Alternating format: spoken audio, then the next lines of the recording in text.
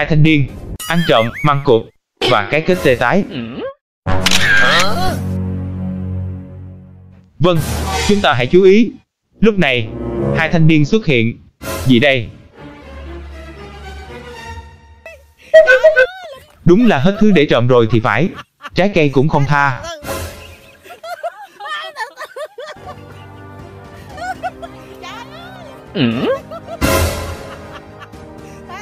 Đáng đời, hai thanh niên. Quả báo đến sớm, cho biết quả măng cụt khó ăn cỡ nào.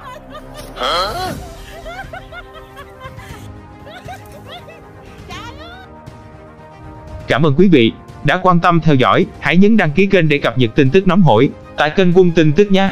Xin cảm ơn.